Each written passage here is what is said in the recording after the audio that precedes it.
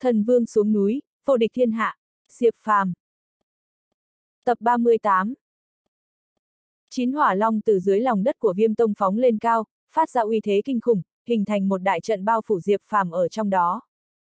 Đây chính là đại trận hộ tông của viên tông, do tổ tiên năm xưa tự tay bố trí.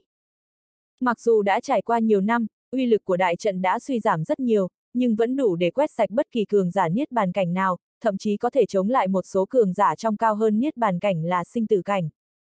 Lúc này, Diệp Phàm đang ở trong đại trận này, cảm nhận được sức ép cực kỳ mạnh mẽ, chín hỏa long giận dữ gào thét, dương nanh múa vuốt tấn công về phía hắn, muốn nuốt chửng hắn. Đòn công kích được hình thành do từ chín hỏa long này kết hợp lại đã vượt qua giới hạn của niết bàn cảnh.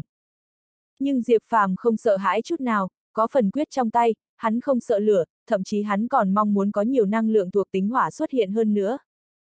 Dầm. Diệp Phàm lập tức vận chuyển phần quyết, tạo ra sức cắn nuốt khủng khiếp trong cơ thể hắn, mà chín hỏa long cũng vừa lúc đánh trúng cơ thể hắn.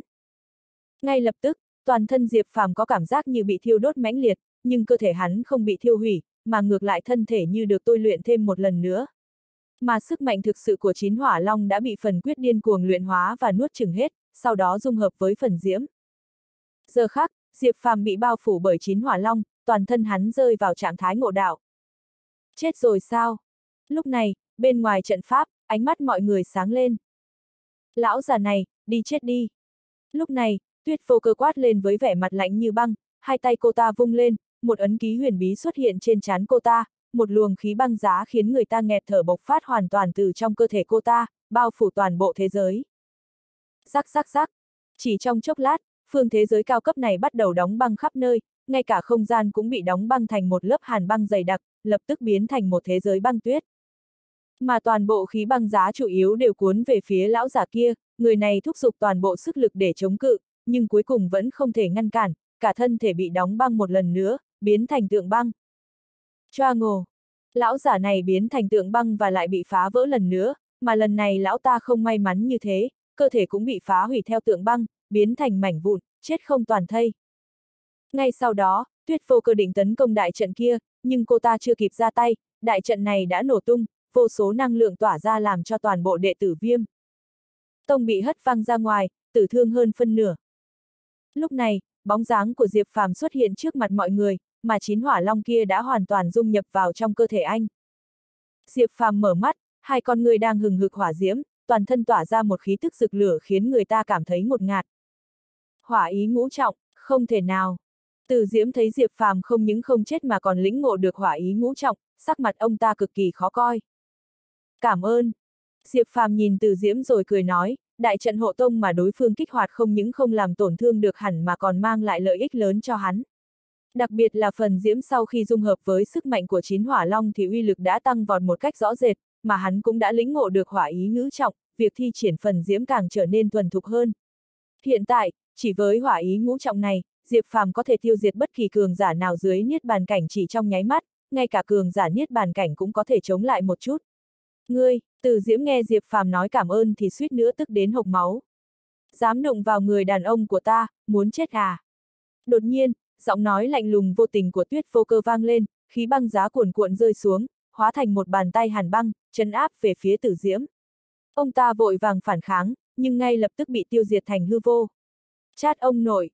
Từ hiểu và từ phượng nhìn thấy Từ diễm bị giết, sắc mặt hai cha con bọn họ hết sức khó coi. Trong khi đó, Diệp Phàm cũng lao ra, nhắm đến hai cha con này. Phượng Nhi, mau chạy đi. Từ hiểu kêu lớn về phía con trai mình, còn gã ta thì lao về phía Diệp Phàm, toàn bộ lực lượng trong kinh mạch trong cơ thể gã ta nghịch chuyển, miễn cưỡng kích hoạt ra một cỗ lực lượng để ngăn cản Diệp Phàm. Giờ mi. Diệp Phàm vận hành phần diễm rồi đánh ra một trường, trực tiếp đánh bản thể của Từ Hiểu thành bột mịn, sau đó tiếp tục lao về phía tử Phượng. Này thanh niên, có chừng mực thôi. Ngay lúc một trưởng của Diệp Phàm sắp sửa đánh trúng người tử Phượng, một giọng nói đầy trầm ổn vang lên. Một người đàn ông trung niên với vẻ mặt lạnh lùng, để dâu quai nón, trên người mặc một bộ trường sam màu đỏ đứng chắn trước mặt Diệp Phàm, ông ta nhẹ nhàng vung tay đã đẩy hẳn lùi lại. Sư tôn, người đến rồi.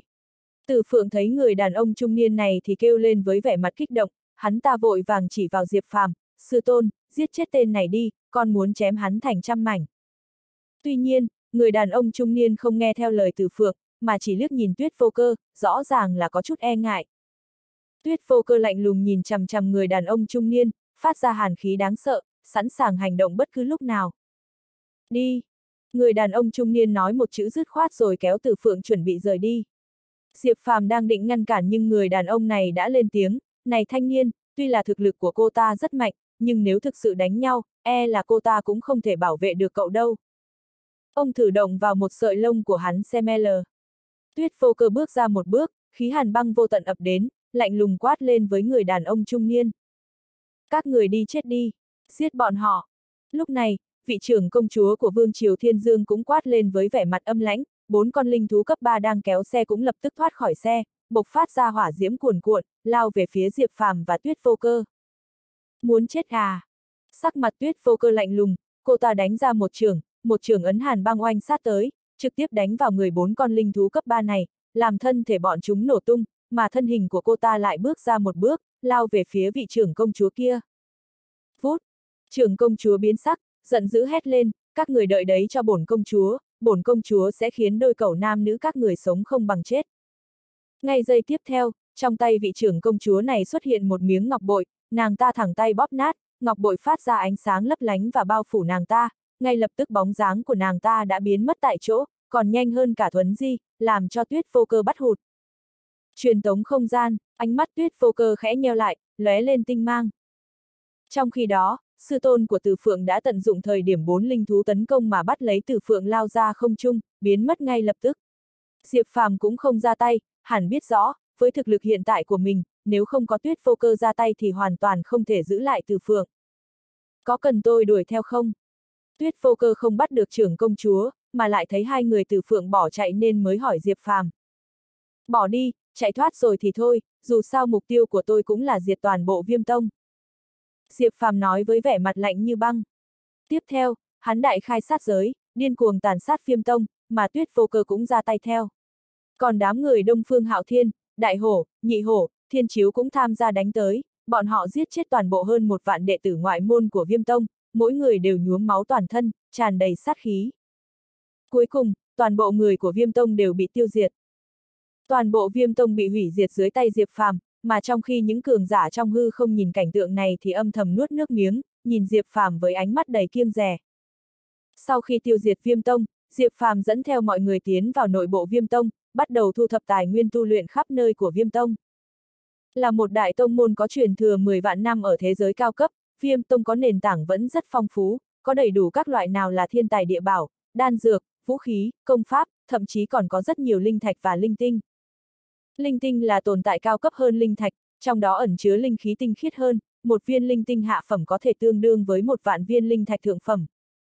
Trong thế giới cao cấp, những đệ tử thiên tài của các đại tông môn mỗi ngày đều tu luyện bằng linh tinh, vì vậy bọn họ mới có thể có thực lực mạnh mẽ ngay khi tuổi còn trẻ như thế. Mà viêm tông đã phát triển đến bây giờ, số lượng linh tinh cộng lại lên đến hàng chục vạn viên, cộng với linh thạch, số lượng không đếm xuể. Tất cả những thứ này đều rơi vào tay Diệp Phàm, hơn nữa hẳn còn phát hiện được một vài dược liệu cần thiết để luyện chế đan đại hoàn trong kho dược liệu của Viêm Tông. Có vẻ như, việc Diệp Phàm tiêu diệt Viêm Tông là hoàn toàn đúng đắn, dù sao. Hắn cũng đã tìm thấy một vài dược liệu cần thiết để luyện chế đan đại hoàn. Điều này khiến Diệp Phàm bắt đầu cảm thấy hứng thú với các tông môn khác, nếu hắn tiêu diệt hết bọn họ, liệu có thể thu thập đầy đủ dược liệu cần thiết để luyện chế đan đại hoàn không? Ý tưởng này nghe có vẻ rất điên rồ, nhưng vì sở sở, Diệp Phàm tuyệt đối dám làm như vậy. Vì sở sở, hắn không ngại làm kẻ thù của cả thế gian. Đây là cái gì? Sau đó, Diệp Phàm phát hiện một chiếc hộp trong kho bí mật của Viêm Tông, xung quanh được bao phủ bởi một lớp năng lượng hỏa diễm khiến người ta không dám lại gần. Diệp Phàm vung ra một trường, phần quyết dâng trào, trực tiếp nuốt chửng năng lượng hỏa diễm xung quanh chiếc hộp kia, khiến chiếc hộp rơi vào tay hắn. Khi Diệp Phàm mở ra xem, bên trong là một bản cổ tịch. Nộ hỏa liên. Diệp Phàm nhìn vào ba chữ lớn được viết trên sách cổ, ánh mắt hắn chợt mở lớn, đây chẳng phải chính là chiêu mà Từ Phượng đã thi triển trước đây sao? Không thể không nói, chiêu này thật sự có uy lực cực kỳ khủng khiếp, đặc biệt là khi thi triển kết hợp với hỏa diễm cường đại, uy lực càng trở nên kinh người hơn, nếu không nhờ có phần quyết của Diệp Phàm bắt thêm, muốn ngăn cản chiêu nộ hỏa liên của Từ Phượng thật sự không dễ dàng. Ta có phần diễm, nếu như tu luyện chiêu nộ hỏa liên này, chẳng phải. Ánh mắt Diệp Phàm sáng lên, ngay lập tức nảy sinh hứng thú đối với chiêu nộ hỏa liên này. Lúc này, Diệp Phàm bắt đầu tu luyện nộ hỏa liên. Tuy nhiên, sau khi Diệp Phàm tu luyện nộ hỏa liên, hắn mới nhận ra sự lợi hại của tuyệt chiêu này, chiêu mà Từ Phượng đã thi triển trước đó chỉ là nộ hỏa liên cơ bản nhất. Khi tu luyện đến nộ hỏa liên đại viên mãn, nộ hỏa liên có thể đồng thời ngưng tụ ta chín đóa hỏa liên, uy lực vô cùng mạnh mẽ, chắc chắn còn khủng khiếp gấp vô số lần so với một đóa hỏa liên của Từ Phượng. Tuy nhiên, việc tu luyện nộ hỏa liên lại rất phức tạp và khó khăn, hơn nữa chỉ cần một chút sơ suất cũng có thể làm tổn thương chính mình. Vì vậy đã rất nhiều năm qua, không ai ở Viêm Tông có thể tu luyện thành công, Từ Phượng cũng chỉ nhờ vào địa hỏa mới miễn cưỡng nhập môn. Dĩ nhiên, điều này đối với thiên phú dị bẩm như Diệp Phàm thì chẳng đáng là gì, chỉ sau một giờ tu luyện, hắn cũng đã nhập môn. Vù vù. Diệp Phàm liên tục vung tay, phần diễm trong cơ thể tuôn trào, nhanh chóng tụ lại thành một đóa hỏa liên trong lòng bàn tay hắn. Lúc đóa hỏa liên này vừa xuất hiện, không gian xung quanh lập tức biến thành hư vô, như thể không thể chịu nổi sức mạnh đóa hỏa liên này. Mới chỉ vừa hình thành đóa hỏa liên mà đã có uy lực mạnh mẽ như vậy, nếu một ngày nào đó thực sự bộc phát ra, vậy uy lực đó quả thực không thể nào tưởng tượng nổi. Diệp Phàm cảm thấy, nếu hắn đánh ra đạo hỏa liên này, đừng nói là cường giả niết bàn cảnh, ngay cả cường giả mạnh hơn niết bàn cảnh là sinh tử cảnh cũng chưa chắc đã chịu nổi, cái này thật sự còn khủng khiếp hơn cả bom hạt nhân. Ngay sau đó, Diệp Phàm làm đạo hỏa liên này tản đi và đứng dậy rời khỏi nơi này. Còn đám người Đông Phương Hạo Thiên đã thu gom toàn bộ tài nguyên của Viêm Tông, ngay cả một thứ cặn bã cũng không hề để lại, nhưng may mà trong. Viêm Tông có khá nhiều túi chữ nhiều tài nguyên như vậy. Túi chữ vật là một loại trang bị thu gom đồ vật khá phổ biến trong thế giới cao cấp, cấp thấp hơn nhiều so với nhãn không gian, mà chiếc nhẫn thiên đế trong tay Diệp Phàm đang sở hữu cũng là một chiếc nhẫn không gian, nếu hắn có thể khiến chiếc nhẫn này nhận chủ thì có thể bỏ tất cả đồ vật vào trong đó, sẽ tiện lợi hơn nhiều so với túi chữ vật. Đáng tiếc là hắn không phải là người thừa kế huyết mạch của Diệp tộc nên không thể khống chế chiếc nhẫn thiên đế này. Tiếp theo, đám người Diệp Phàm rời khỏi đây, sau khi bọn họ rời đi, chuyện xảy ra ở Viêm Tông nhanh chóng truyền bá khắp các thế giới cao cấp, gây chấn động vô cùng. Viêm Tông thế mà lại bị chắc chắn không ai dám tin. Một thanh niên tiêu diệt, chuyện này mà truyền ra thì... Hơn nữa, thanh niên này còn sở hữu một đạo thiên hỏa, càng khiến mọi người kinh ngạc hơn. Nhưng điều quan trọng nhất là, người này còn đắc tội với trưởng công chúa của Vương Triều Thiên Dương, chuyện này chẳng phải là tự tìm đường chết sao. Chẳng mấy chốc, Vương Triều Thiên Dương đã phát lệnh truy nã Diệp Phàm và Tuyết Vô Cơ, đồng thời yêu cầu tất cả các thế lực trong toàn bộ thế giới cao cấp bắt đầu tìm kiếm hai người này, bất kỳ ai tìm thấy hai người đều sẽ được vương. Triều Thiên Dương trọng thưởng. Chỉ trong thời gian ngắn, không chỉ các thế lực trong thế giới cao cấp hành động mà cả những đại tông môn và gia tộc trong đệ nhất trọng thiên cũng bắt đầu nhao nhao phái người đến thế giới cao cấp để tìm kiếm tung tích của Diệp Phàm và Tuyết Vô Cơ, nhân cơ hội này để lấy lòng Vương Triều Thiên Dương. Dĩ nhiên, lý do bọn họ làm như vậy không chỉ vì muốn lấy lòng Vương Triều Thiên Dương mà còn vì một mục đích chính nữa, đó chính là muốn có được thiên hỏa trên người Diệp Phàm. Thiên hỏa là thứ khan hiếm khó tìm hơn cả địa hỏa, bất kỳ ai sở hữu thiên hỏa đều có thể đứng ở thế bất bại trên chiến trường. Mỗi lần thiên hỏa xuất hiện đều sẽ thu hút vô số cường giả tranh đoạt, như hôm nay thiên hỏa lại xuất hiện, làm sao mà những người tu luyện này không động lòng cho được. Chỉ cần bắt được Diệp Phàm, không chỉ có thể có được thiên hỏa mà còn có thể lấy lòng Vương Triều Thiên Dương, chuyện một công đôi việc như vậy thì tất nhiên có người nào mà không bị kích thích chứ. Chỉ trong thời gian ngắn, các thế lực trong thế giới cao cấp và toàn bộ các thế lực trong đệ nhất trọng thiên đều hành động, không biết đã huy động bao nhiêu người đến để truy bắt Diệp Phàm và Tuyết Vô Cơ. Ngoài ra, Vương Triều Thiên Dương còn phái 10 vạn đại quân Thiên Dương đến thế giới cao cấp để tìm kiếm Diệp Phàm và Tuyết Vô Cơ, có thể thấy quyết tâm của bọn họ trong việc bắt được hai người này mạnh mẽ đến mức nào. Lúc này, Thiên Chiếu đi tới trước mặt Diệp Phàm, thông báo cho hắn biết tình hình bên ngoài. Lại bị truy nã rồi, xem ra tôi thật sự có số mệnh bị truy nã. Diệp Phàm xoa xoa mũi, cảm thán nói, ánh mắt nhìn về phía Tuyết Vô Cơ đang ở một bên, nói, bây giờ cô cũng bị các thế giới truy nã, thấy thế nào? Tôi sẽ đi tiêu diệt Vương Triều Thiên Dương ngay bây giờ. Tuyết Vô Cơ lạnh lùng quát lên, đừng nóng vội, hiện tại thực lực của cô tuy là rất mạnh nhưng Vương Triều. Thiên Dương tuyệt không dễ đối phó, nếu không bọn họ cũng sẽ không trở thành một trong các cấp bậc bá chủ ở đệ nhất trọng thiên này. Diệp Phàm nhắc nhở. Bây giờ Diệp Phàm đã có một hiểu biết nhất định về thế giới cao cấp, mặc dù thế giới cao cấp này không nhiều như thế giới trung cấp nhưng cũng có hơn trăm thế giới. Tuy nhiên, trên thế giới cao cấp còn có những tồn tại kinh khủng hơn, đó chính là cửu trọng thiên. Một trọng là một thế giới, cửu trọng thiên đại diện cho chín thế giới, càng lên cao càng khủng bố, mà thế giới đệ cửu trọng thiên đã là đỉnh cao của vị diện này, trong đó gần như chỉ có những lão quái vật đang chinh phục cảnh giới tiên nhân, mỗi người không biết đã sống bao nhiêu năm rồi. Còn Vương Triều Thiên Dương cho dù là một trong hai Vương Triều mạnh nhất ở đệ nhất trọng thiên, cùng với một Vương Triều khác gần như chia đôi thế giới ở đệ cửu trọng thiên, có thể thấy sự đáng sợ của Vương Triều này. Mặc dù Diệp Phàm biết tuyết vô cơ đã nhận được sức mạnh của tổ tiên băng tuyết thần quốc, toàn bộ thể chất, mệnh cách, vận mệnh đều đã thay đổi, nhưng muốn chống lại Vương Triều Thiên Dương thì e rằng cũng không dễ dàng gì. Lẽ nào cứ để bị truy nã như thế này mãi sao? Tôi đường đường là nữ hoàng của băng tuyết thần quốc lại bị người ta phát lệnh truy nã, nếu chuyện này truyền ra ngoài chẳng phải quá mất mặt sao? Tuyết vô cơ lạnh lùng nói. Không sao, người bên ngoài cũng đâu biết cô là ai. Diệp Phàm mỉm cười nói. Điều đó không được, bổng hoàng không thể để băng tuyết thần quốc mất mặt. Tuyết vô cơ hừ lạnh, nói, nếu là vào thời kỳ đỉnh cao của thần quốc băng tuyết, một vương triều nhỏ bé như vậy thậm chí còn không có tư cách quỳ xuống. Liếm. Nghe thấy vậy, Diệp Phàm liếc nhìn tuyết vô cơ, hắn thầm nghĩ xem ra băng tuyết thần quốc này cũng không đơn giản. Chủ nhân, tôi còn thăm dò được một tin tức.